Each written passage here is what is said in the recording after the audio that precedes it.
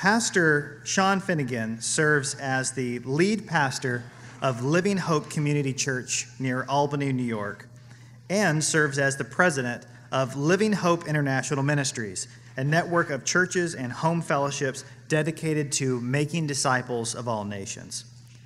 Pastor Finnegan is also the host of Restitutio, a weekly podcast focused on restoring authentic Christianity and living it out today.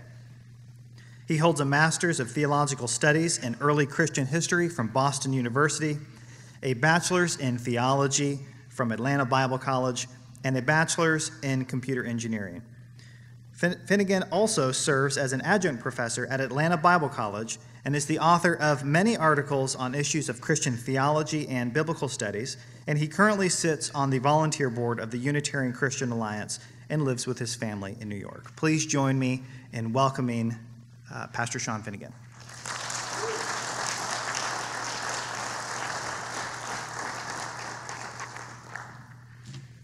Well, good morning. I'm so honored to speak with you today and discuss a, an important discovery that I've made. And church history can sometimes be a little dull, can be a lot of reading, but sometimes you find something and you're just so excited about it. And that's how I feel this morning. In 1837, the Armenian Orthodox authorities became aware of a group of sectarian Armenians who migrated from Ottoman controlled territory in 1828 to Russian speaking Armenia. There were 25 households that made this move during the war, the, the Russian Turkish War of 1828 to 1829. They began an investigation of this group the Armenian authorities, which lasted from 1837 to 1845. Reportedly, they were heretics who, quote, although illiterate, were brilliant preachers of their doctrine, fooling the innocent and hiding their evil sect from the clergymen and knowledgeable laymen. Sound like interesting people to me.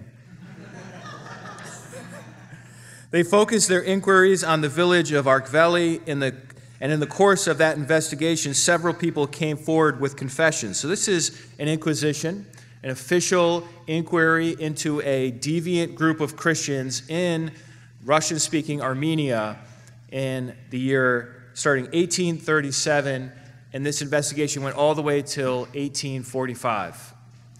I'm glad we are not in a, a time and a place where we are you know, vulnerable to this kind of situation. But in the course of that investigation, which went on, like I said, for eight years, several people came forward with confessions. And so I want to read to you a little bit of their, these confessions. These are, these are turncoats. These are people who said, I no longer want to be associated with this community. I'm going to go back to the, to the mainstream Armenian church. And uh, this is a little bit of what they said in their confessions. They say, this is someone named Karapet who says, They convinced me, they, the sect that's under investigation, that Christ is not God, made me blaspheme the cross as being nothing, told me that the baptism and holy oil of the Armenians is false, and that we must rebaptize all of us on whose foreheads the sacred oil of the wild beast is laid. That's a great line. The mother of God is not believed to be a virgin, but to have lost her virginity. We reject her intercession, and also whatever saints there be, reject their intercession. Then he goes on the canon lore of the holy patriarchs they reject and say that the councils of the patriarchs were false and that their canons were written by the devil. Sounds good to me. Confession number two in 1837, in February, during Shrovetide, on the first of the week, in the chamber of Grigor Khalzwan, I saw Tharzi Sargis reading the gospel. First, he read it and then explained it. He told us not to worship things made with hands, that is to say, images of saints and the cross, because these are made of silver and are the same as idols. Christ is the Son of God, but was born a man of Mary. After suffering, being buried, and rising again, he ascended into heaven and sat on the right hand of the Father and is our intercessor. Except Christ, we have no other intercessor. For the mother of God, they do not believe to be a virgin, nor do they admit the intercession of saints. When you go into church, pray only to God and do not adore pictures. Last of all, they told me that Christ is not God, and then I understood the falsity of their faith. This is Confession 2 by Manek. And then Confession 3 by Avos is they say, Christ is not God, but the Son of God and our intercessor, sitting on the right hand of God. You shall know Christ alone and the Father, and all the saints which are or have been on the earth are false. There is no need to go on vows to Echmiadzin or Jerusalem. Echmiadzin is the main spiritual center in Armenia. You shall confess your sins in church before God alone. You shall always go to church. This is to the big church that's run by the government authorities in Armenia, even to this day. Just like many other Eastern European countries, you have the Eastern Orthodox Church. So you have the Armenian State Church, or as they call themselves, the Armenian Apostolic Church. Very similar to the feel of a Catholic Church or Greek Orthodox Church in the sense of the liturgy and the way they have images and, and so on and so forth. And so what they're saying is you should go to church, to that church. And to the priests at the time of confession, you shall not tell your sins, for they do not understand. But talk to them in a general sort of way. Always go to church. Not that our kind considers it real, but externally, you shall perform everything and keep yourselves concealed until we find an opportunity. And then, if we can, we will all return to this faith of ours. And we swear, even if they cut us to pieces, that we will not reveal it. This is a persecuted community. That's what you're seeing here. This is eyewitness testimony of people who were part of a, a persecuted community that is terrified of being uh, beaten, fined, executed, exiled, whatever kind of threats may come their way. They had lived in Muslim controlled Ottoman Empire.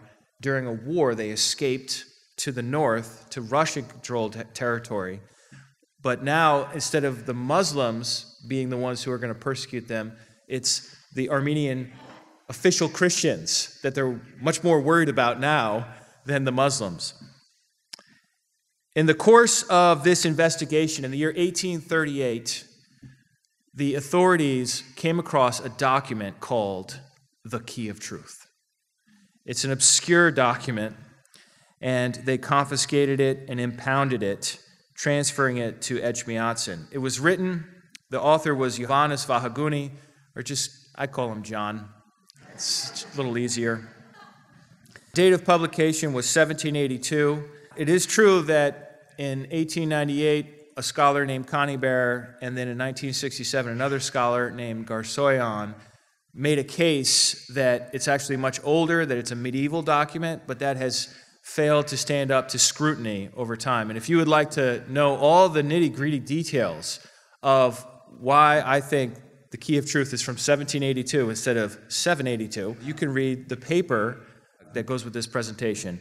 And you can also find that on my website, restitutio.org, under articles. So, the Key of Truth is an 18th century document. There's only one manuscript that survives. Think about that for a moment. There's one book, there's one manuscript on the planet that we know of, written in the Armenian language.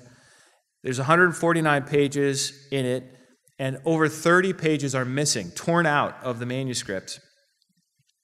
Even worse, there are many erasures of a word or phrase, though most of them are recoverable. So it's a mutilated, damaged, only manuscript that survives. And it was translated into English in 1898 by Frederick Conybeare, and it's a fascinating book fascinating book to read. So I want to tell you all about this book. I want to tell you like about their their beliefs about God in particular, but then I want to share with you some of the other beliefs that they had that you might be interested in. And then if you want to know more, you can just read it yourself. You can get it online for free. God bless the 21st century, right? So the key of truth is not a systematic theology. It's a composite document containing a treatise on Jesus' baptism, admonitions about Satan, detailed instructions on repentance, baptism, and communion, a liturgy for ordination, and it ends with a catechism. It's thoroughly biblical. There are lots of quotations from the Bible. Not too much from the Old Testament, though. Just uh, there's, I only found one quotation from Genesis, uh, and there was maybe a couple of allusions to Old Testament figures, but lots from the New Testament, uh, especially the Gospels and Paul's epistles, lots of that. Uh, but also uh, Hebrews, First Peter, and First John are all quoted in this in this book. And again, we don't have the whole thing, so I think if we had the whole thing, we'd have even a better sense of what parts of the Bible that really spoke to them and it has a clear Unitarian theology in the Key of Truth document. So, this is the book that this community of Armenian Unitarians produced. So, this is from chapter 14 of the Key of Truth. It says, No one can remit sins save only the one God. Huh. But do you investigate all their other words and give praise to the Heavenly Father and to His only born Son? Chapter 19 If you listen unto the church, the infinite God shall save you. The head of all is the Lord Jesus, whom the holy Paul doth confess, and the head of Christ is God and light. Chapter 20 We confess and believe that there is one true God, of whom our Lord Christ speaketh. John 17, 3. This is life eternal, that they should know thee, the only true God, and him thou didst send, Jesus Christ Again, we confess and believe in Jesus Christ, a new creature and not creator, as St. Paul saith to the Hebrews, chapter 3, verse 2. He is faithful to his creator, as was Moses and all his house. The part that's in brackets here, it says a new creature and not. That's a part that's been erased from the manuscript, and the translator was able to recover what was there in the original.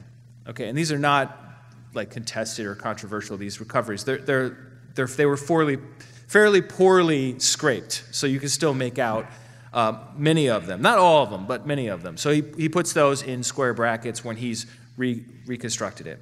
But uh, boy, look at that. A new creature. They call Christ, to call Christ an old creature, even, that's, that's quite a statement. Uh, but a new creature, even more so. And this, uh, this verse here, I talked to Dr. Jerry about Hebrews 3 2, um, where it says, He is faithful to his Creator.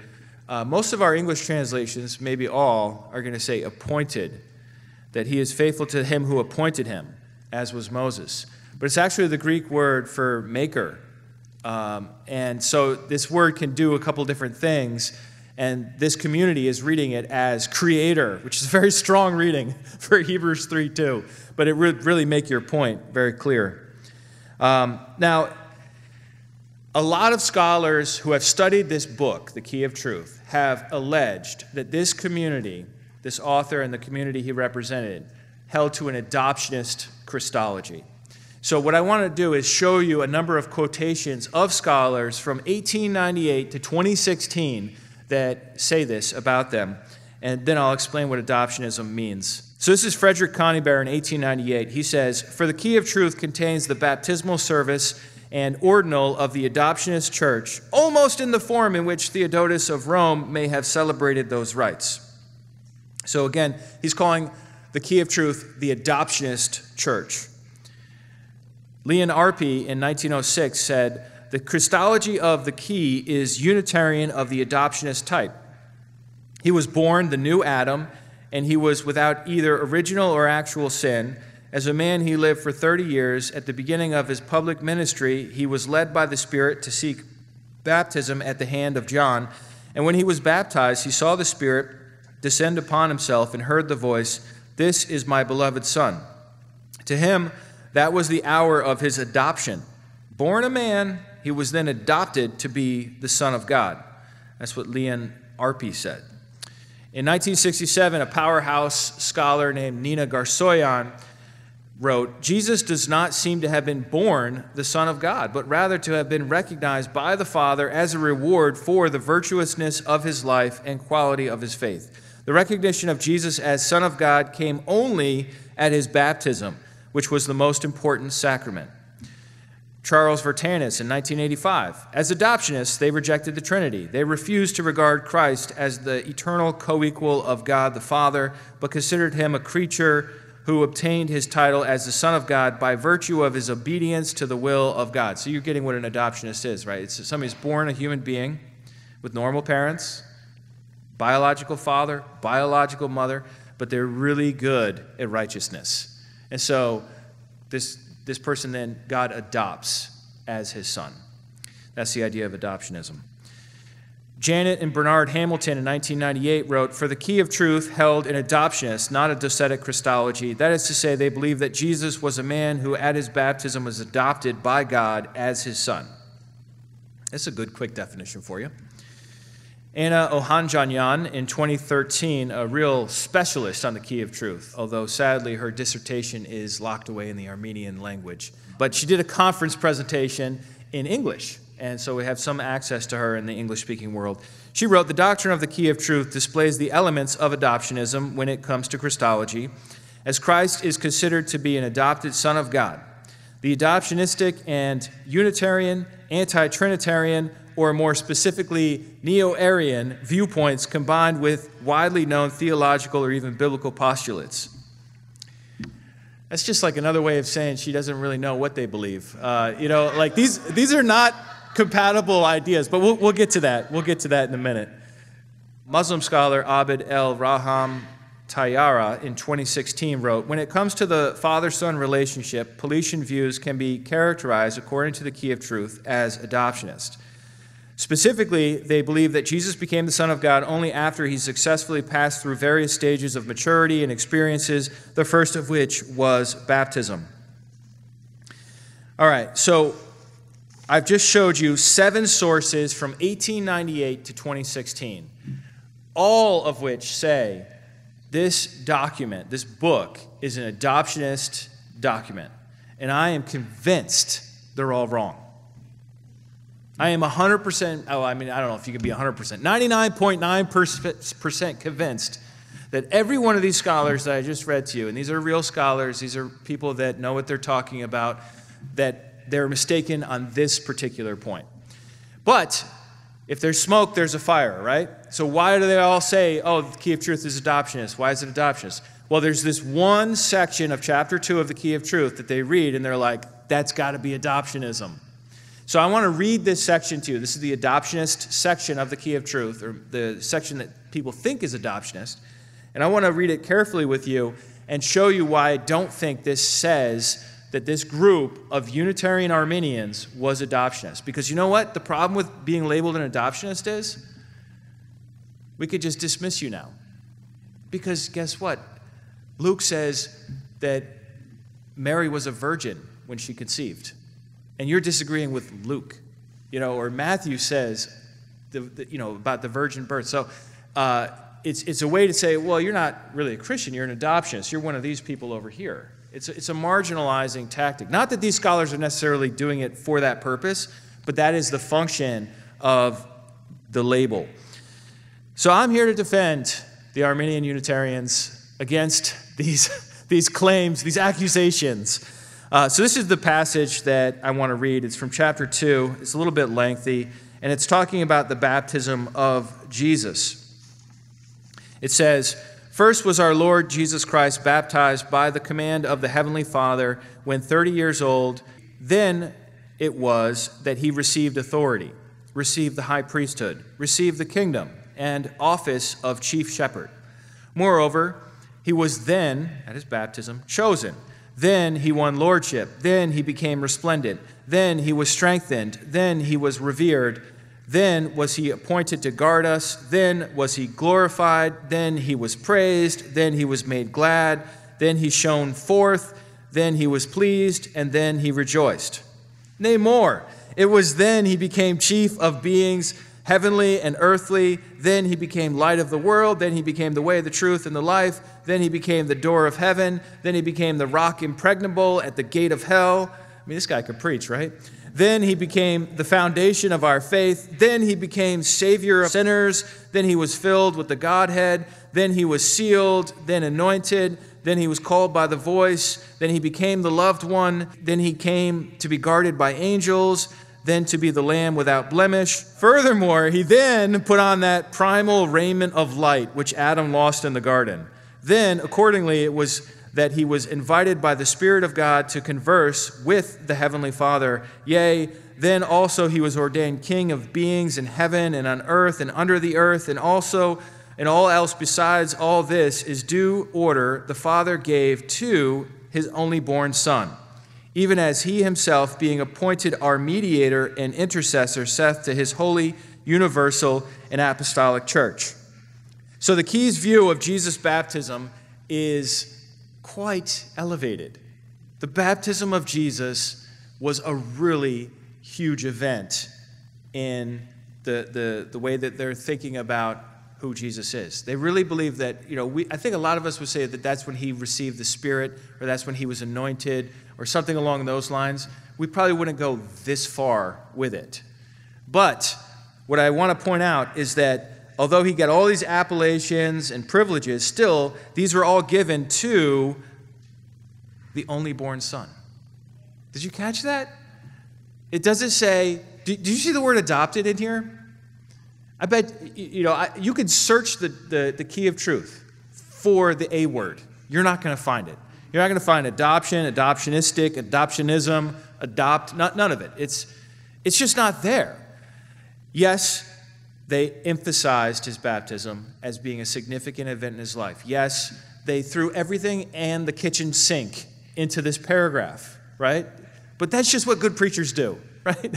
Um, you know, like, that's just what, what's going on here. But all this in due order, the Father gave to his only born son. He's a born son, he's not an adopted son. You know the difference, right? That makes sense. So, I don't think this passage, which is the single passage they're all pointing to to say the key of truth is adoptionistic, I don't think it really says that if you read it carefully.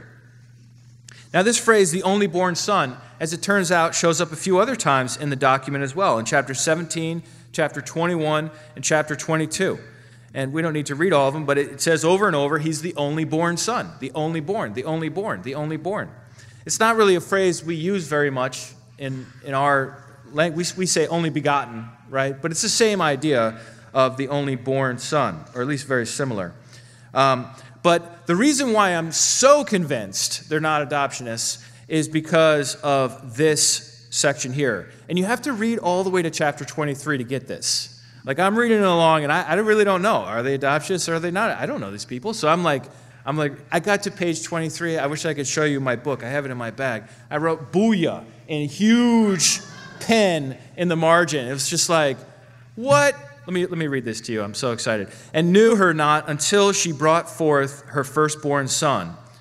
And after eight days, did you catch that? That's a virgin conception or virgin birth there, right? Because he did not know her until she. That's how you have babies, right? If you're not known until. Okay, I don't want to go into detail. I'll just continue. And after eight days, his name was called Jesus, which name the angel Gabriel revealed in the time of her virginity. See Luke 126.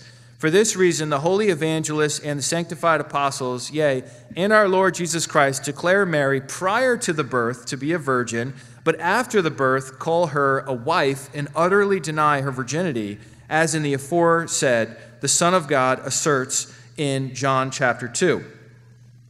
So, this right here, this is how I would put it it is impossible to believe in Gabriel's announcement that you will have, uh, the Holy Spirit will come upon you and you will have a child and he will be called the Son of God. And Mary's question, how can this be? I, I, you know, I've not been with a man. And he says, well, the Holy Spirit will come upon you. You cannot believe in that narrative and be an adoptionist at the same time.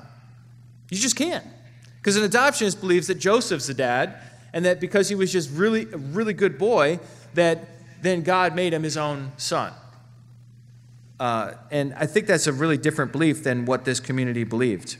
For him, Jesus is the Son of God precisely because of the miracle in the womb of Mary. So I don't think these are a weirdo adoptionist sect. I think they're Unitarians, Unitarian Christians. What kind of Unitarians? I know you want to know.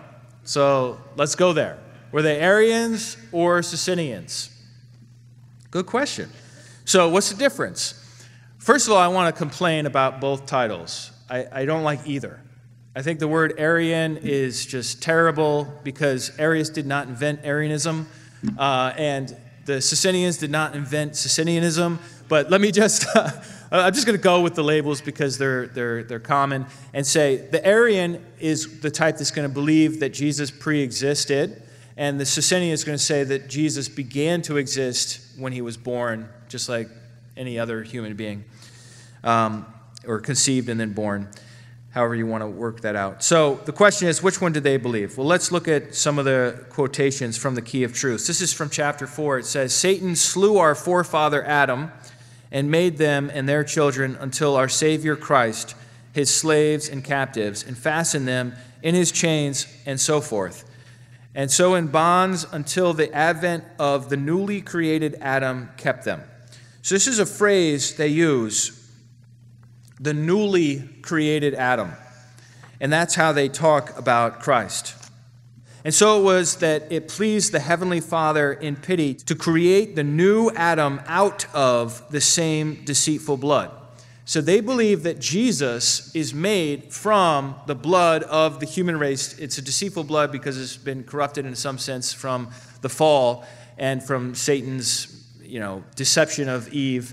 So th- that's what they're talking about here. They're saying that there is this new Adam, and the new Adam did not come into existence in ages past, but in more recent times. And they use the word new to accomplish that communication.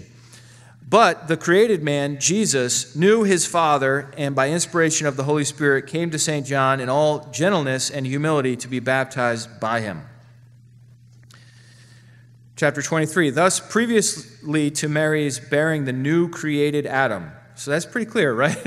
so she bore the new created Adam. Gabriel, the archangel, pronounces her a virgin and greets her. But after the birth, the same angel does not call her a virgin. On the point of preexistence, first of all, there's no mention of preexistence in the Key of Truth. You can read it for yourself, you can investigate any of this yourself. Secondly, the standard way of talking about Jesus is that he's newly created. So that tells me that he's a, a, recent creation as opposed to someone who existed in times past, in like the Old Testament times and so forth. Uh, now, I want to look at a little bit more about these people because their belief in who God is is not the only interesting thing about them and their way of talking about Jesus. Um, they also have some other, what I would call Protestant beliefs that are very out of place. Imagine yourself living in the 1700s in a Muslim controlled area, and then in the 1800s in a very uh, what we would call probably Orthodox type environment. I mean, they, the, Armenian church is not technically Orthodox, but it's got the same feel to it. They would say, well, we were here before the Orthodox. Um, and uh, I just love to, to see that fight someday. That would be hysterical. But um, the, uh, the, the, the fact of the matter is, everybody's worshiping Mary as the Virgin.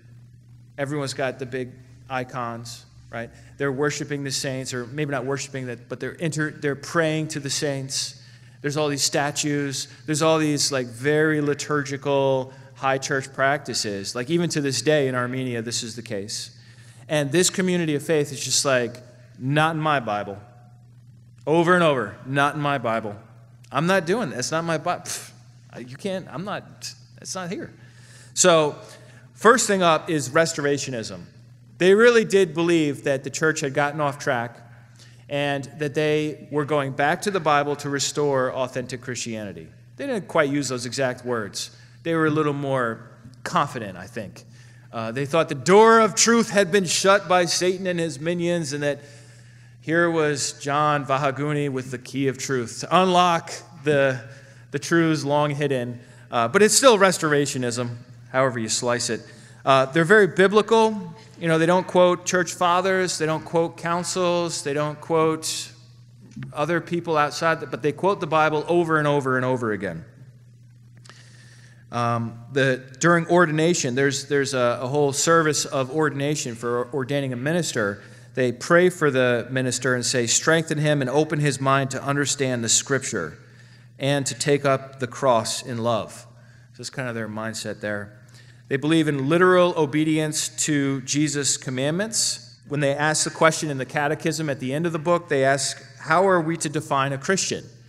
I bet if we asked all of us in this room that question, we would get a lot of different answers. That's a big, vague question. And their answer was one who knows our Lord Jesus Christ, what he is, and keeps his commandments.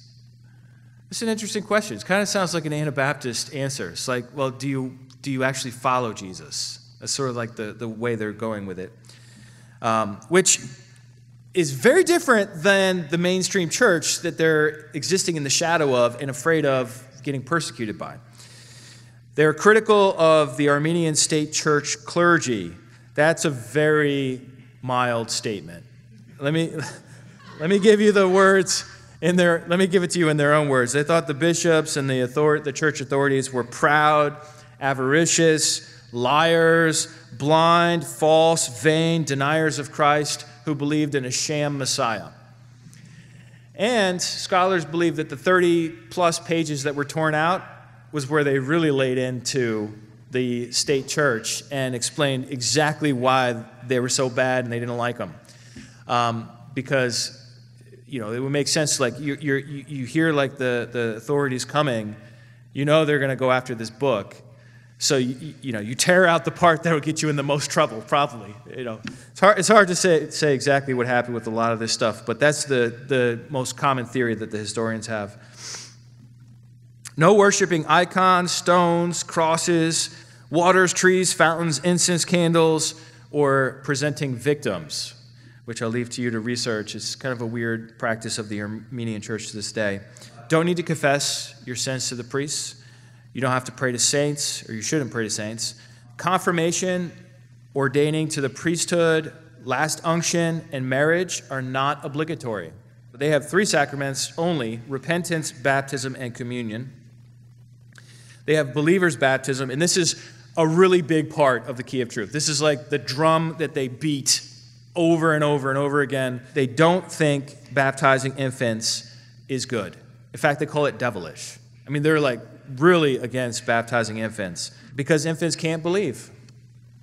They just don't have the, the mental framework yet to believe or repent. Um, and so the pedobaptists, those who are baptizing infants, they believe are Satan's agents. And here's something else. That, this, this is not like a, a lukewarm group here. You know, like these guys are like 100%, this is what the Bible says, you're all wrong and we're the true church. That's, that's where they're coming from. And you got, you got to respect that. Uh, I mean, today we, would, we, we might look at that kind of mindset and say, you're kind of a knucklehead. But like in the 1700s, when your life is on the line, you got to respect that and, and, realize, wow, you know, this is really, this is really taking a strong view. Uh, and so they believed, like the Anabaptists uh, a couple hundred years before them, they believed in evangelizing Christians. You know how offensive it is to get evangelized as a, a, somebody who's born into the state church and who like believes their country is a Christian country. You know, Armenians believe that their country, to this day, is the very first Christian country on the planet. You don't think they're going to have a little pride about that? And you're going to say, you know, your Christianity is not legit. You're not even baptized. They're like, what do you mean I'm not baptized? Well, let me read to you what they said. As we learn from the Lord of the universal and apostolic church, which they're talking about themselves, not the other church that claims that title. Um, as we learned from the Lord of the universal and apostolic church, so do we proceed, and we establish in perfect faith those who till, till then have not holy baptism, nay, nor have tasted of the body, nor drunk the holy blood of our Lord Jesus Christ.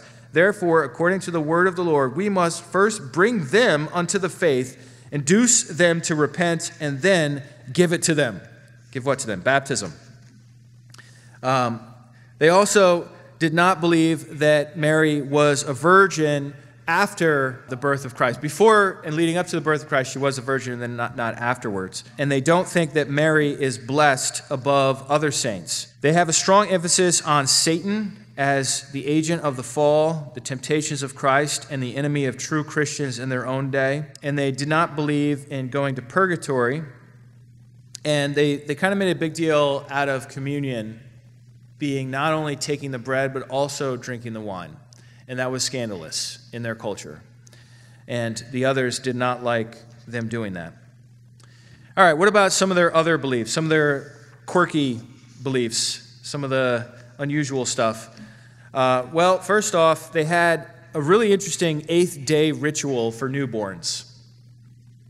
Did, do any of you guys do that? Like on the eighth day, call the pastor over and there's like a special prayer? No, I don't see any hands going up. I, have never heard of this. I mean, there's no reason not to, but this was something that's in there. This is how you do it. On the eighth day, you go to the child's house. They don't baptize the child, but they're going to pray for the child and you know do some sort of uh, you know religious service type thing. Then they had some unique baptismal practices. Let me see if I can mention a couple to you. The most unusual is that they did not baptize until the age of 30 because Jesus was baptized when he was around 30 years old. And so they're really strict on that. Like, you're 29, sorry. I know you're repentant, but you don't qualify. You got to be 30 years old. Uh, another thing they did was um, they had the person getting baptized bow on their knee or bow to the feet of the one that's baptizing them. It's like a very strong sense of submission throughout the service of baptism, which is even more awkward when you realize it, they, were, they were naked. So, not that it was sexual, but it was just kind of a common practice in ancient churches to baptize naked and then get the robe after the baptism. Whereas in our modern times, people get baptized in their clothes or in a robe.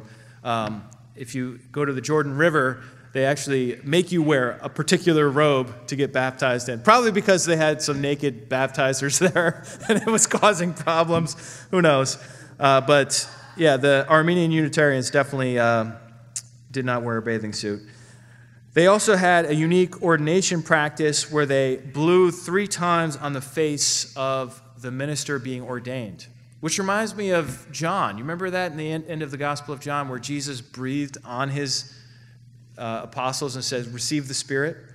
So it's like, I don't know any other churches that do that, but like they were doing it. Hopefully they had a breath mint first. I don't know if they had those in the 1800s, but anyhow.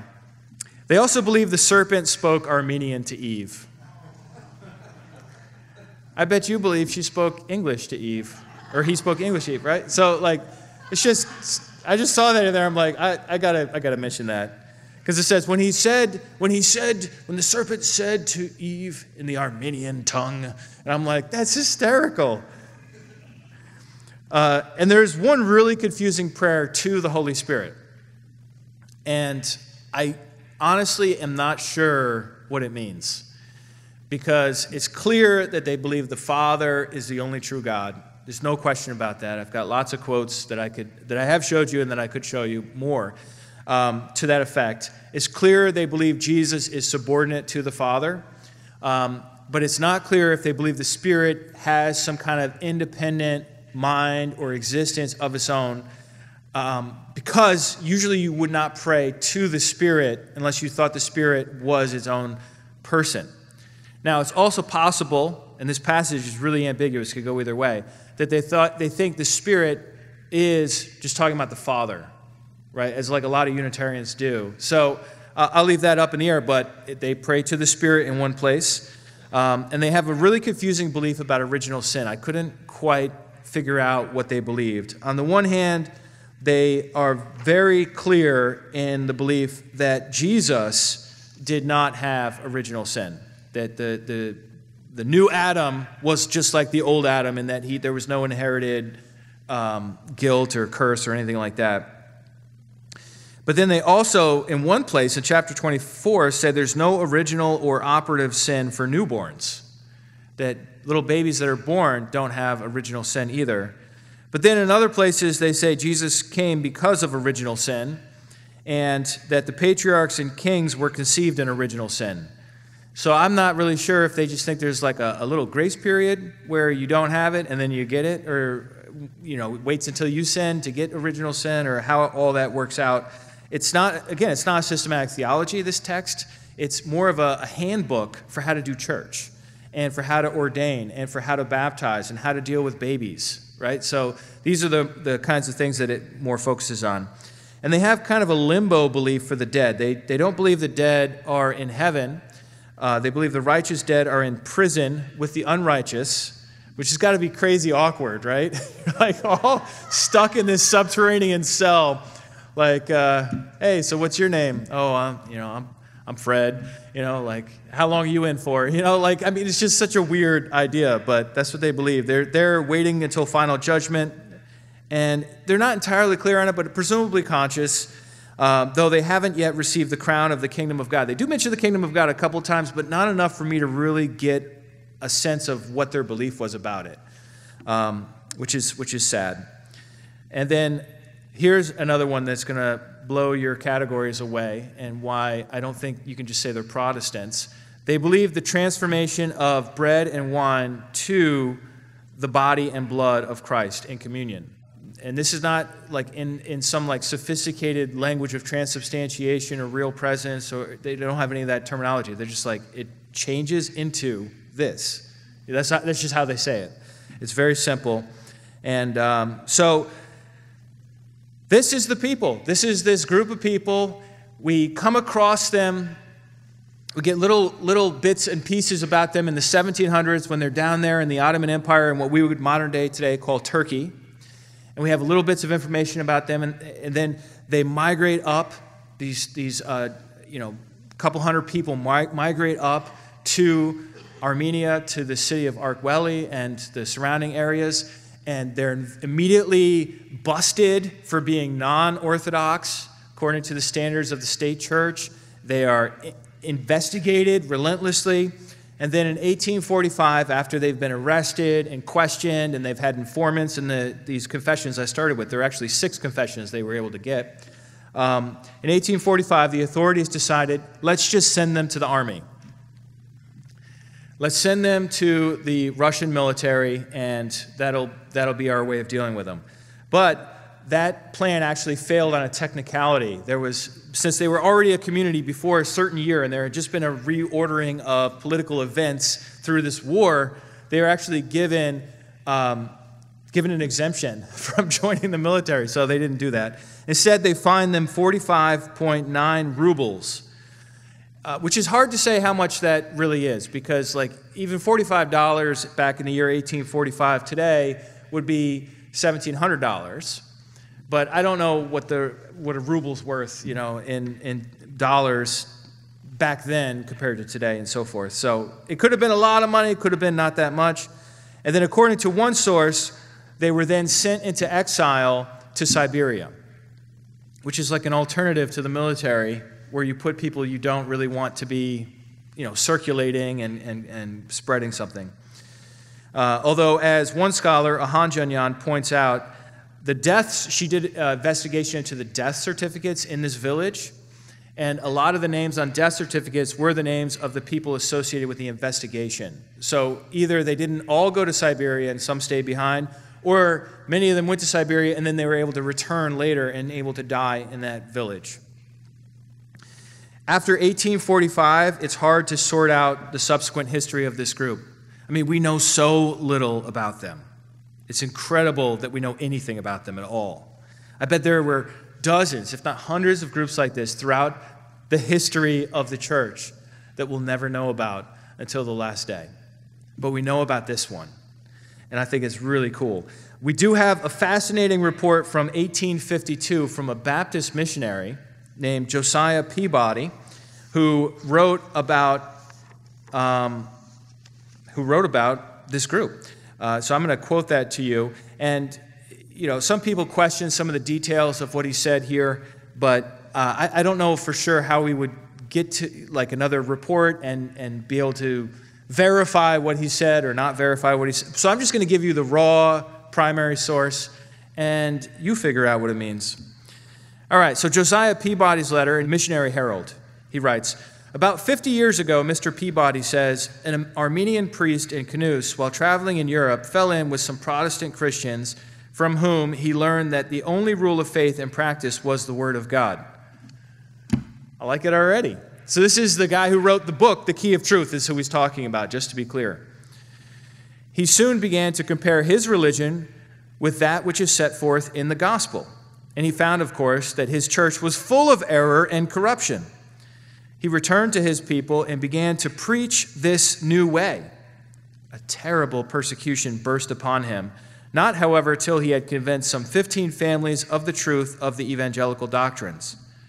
His enemies, determined to put a stop to further progress of this heresy, practiced upon its promulgator various severities, but without success. Don't you love how they wrote in the 1800s? They finally told him that if he did not recant, his nose should be cut off. He assured them that he would submit to this barbarous treatment rather than renounce the gospel. The threat was carried into execution, but without producing the intended effect. He continued to preach the gospel so far as he was acquainted with it. His persecutors then determined to effect his death, to avoid which he was obliged to flee to Erzum and embrace the Muslim faith. That's how they said Muslim back in the day. And in this, it is said he died.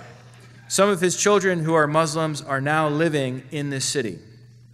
At the time of the Russian invasion in 1827 to 28, it appears that 15 families, or according to other reports, 25 families, spoken of above, immigrated to Russia.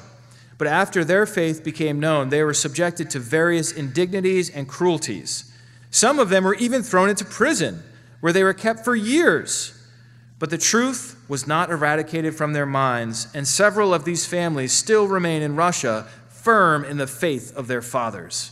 About five years since, two families returned to Knus where they have been exerting their influence, Mr. Peabody says, in a quiet way, till the number of families persuaded of the correctness of their faith amounts to eight, embracing 60 souls. And the trail goes cold, 1852.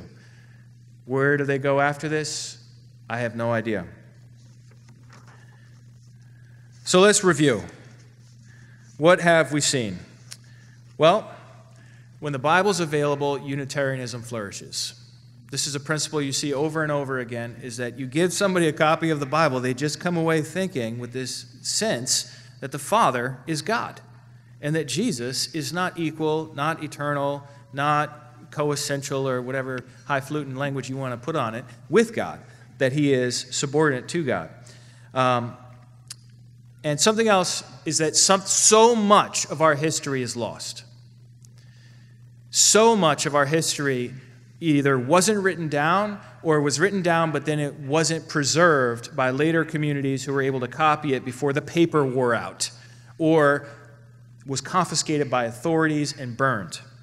If a random Oxford scholar in the 1890s didn't travel over to Etchmiadzin, Armenia, searching for something on the Paulicians, an unrelated medieval group, and find this one manuscript of the Key of Truth and say, huh, I think this will be interesting.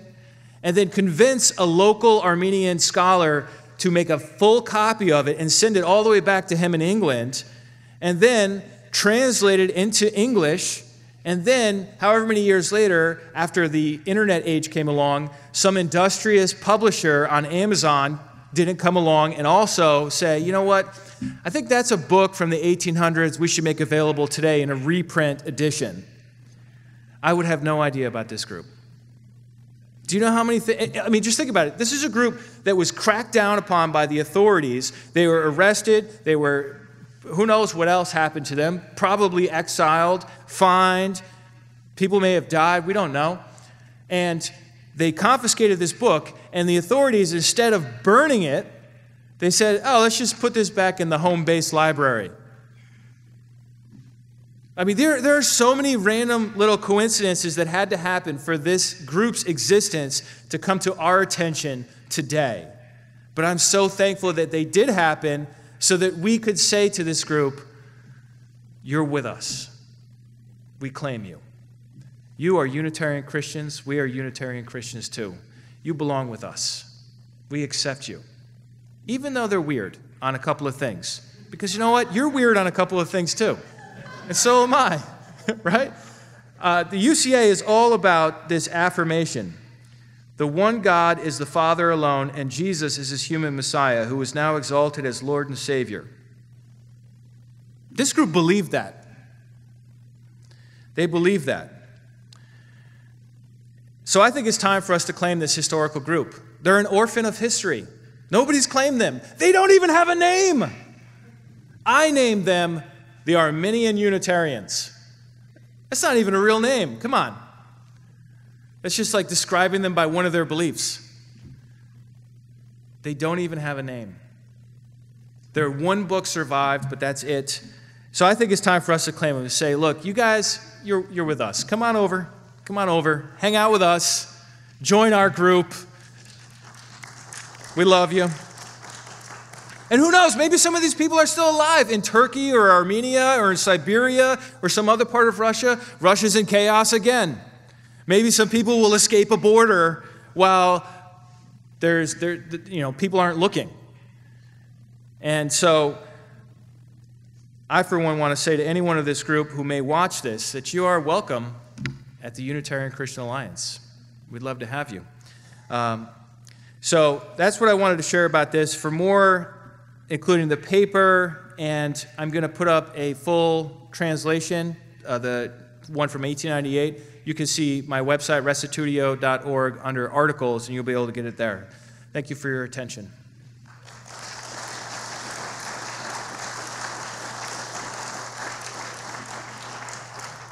Thank you very much, Pastor Sean, for that fascinating and insightful historical presentation. Uh, in the interest of time, we are just going to have a couple of questions before we break for lunch. I know we're all very interested in that. Um, and I'm going to start by actually combining um, a couple of questions that we've gotten. Uh, the first question uh, was The Key of Truth appears to be a very theologically developed document. Where does its content derive from? Meaning, where do the theological traditions they affirm originate? And the related, a related question is this it was reported that the followers of Paul of Samosata, third century Unitarian Syrian bishop, fled to Armenia. Did this group have roots back to him, or possibly Socinians, or are they independent? Sorry, I just I, I could recognize the Sam Tiedemann question when I get one. Um, what was the first question? Their theological influences. That's a hard that's a hard question to figure out, to be honest, because you can't really pigeonhole them in one group. Uh, if you want to say, well, they're Protestants, then it's like, well, why didn't they answer the question, what does it mean to be a Christian with believe in, you know, the gospel by faith alone, scripture, like where are the solas? They don't have any solas. They don't really sound like Protestants um, in, in the, the traditional sense.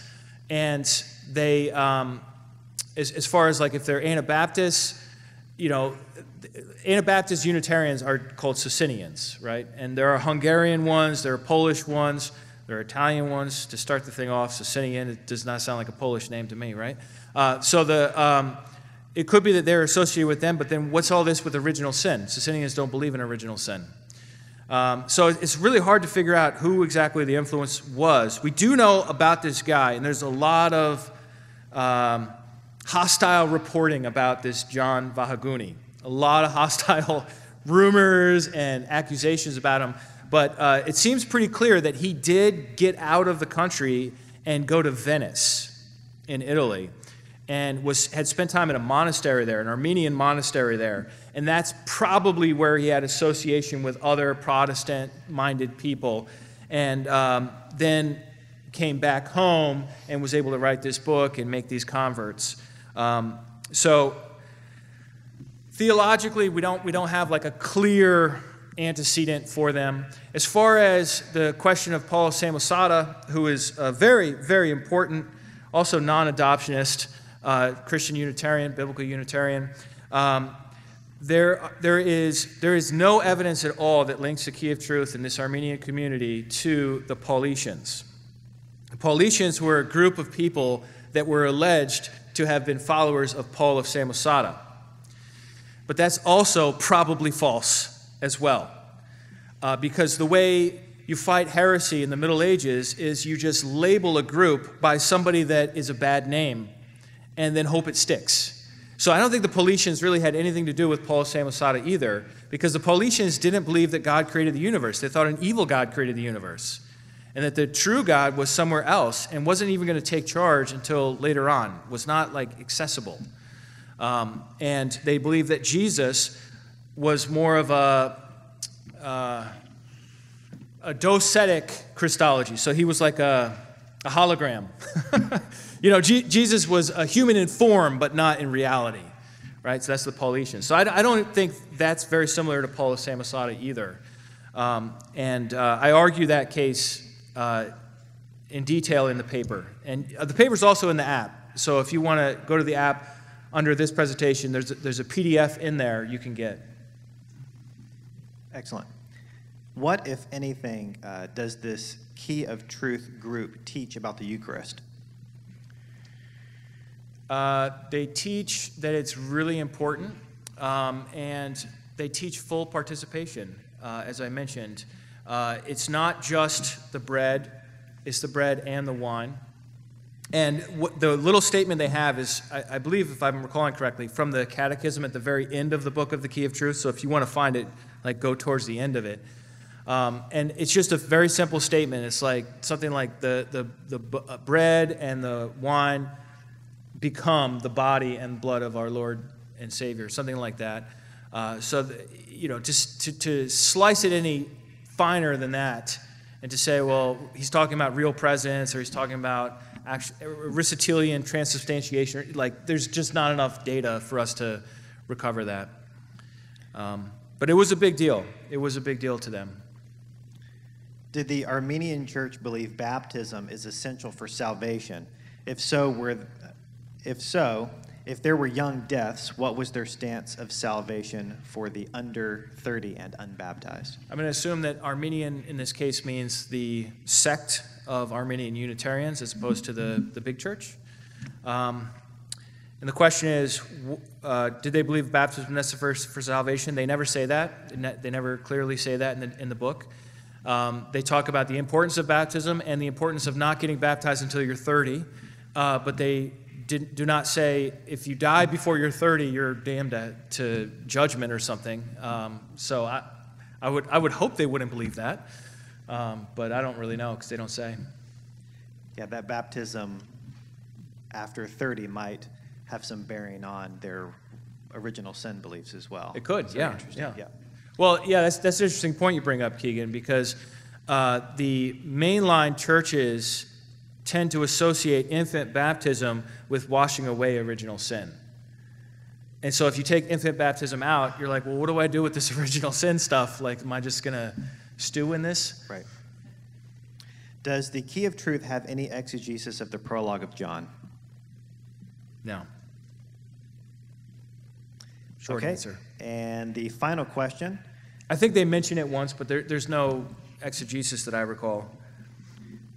And the final question is tell us how you got started in this research and what would you still like to know that you don't know? Okay, how did I get started? Uh, it was actually uh, a relative of Rebecca's. Uh, Mark Madison wrote a paper in the 90s, and um, it, he, in it, he listed out different Unitarians throughout history. And one of them he mentioned was called the Paulicians which is a medieval group in Armenia. And so I started researching them, and I came across the Key of Truth book because the guy who translated it was convinced that this book was a Paulician book. It's actually in the title um, of his translation. And so that's what got me started on it. I read his arguments. I was like, hallelujah, there are biblical Unitarians in the Middle Ages. This is great, uh, which is what Mark had kind of like tentatively thought. He didn't go fully in, but he suggested it. Um, and then uh, I read, I, I, spent my summer vacation reading Nina Garsoian's The Paulician Heresy from the year 1967. Brilliant Columbia scholar uh, from Armenia, grew up in uh, France as a refugee, came to New York City, spoke a bazillion languages perfectly, you know, one of these just superstars, and uh, wrote a book that was almost impenetrable kind of book you have to read every sentence twice. Uh, finally got all the way through it. I was like, oh, she's so brilliant. She's, she's got to be right. I mean, she's got to be right. So then I was like totally convinced. The Paulicians are biblical Unitarians. The Key of Truth ref- reflects their beliefs. And then I started looking at the other scholarship done since 1967, and it systematically and universally destroyed all of her arguments. And I was left in despair, like, I did all this research to discover the opposite of what I hoped would be true. so, um, so I don't, I don't think this book relates to medieval Christianity at all. Uh, but I still think these people matter. And that's why I wanted to still present on this from a 17 and 1800 perspective. I think these people were courageous Christians that stuck their neck out and they suffered for their, for their faith, but they also made lots of converts too. And so uh, that's kind of the little story of how I got into that research. Excellent. Thank you, Pastor Sean. Let's give him a round of applause one more time.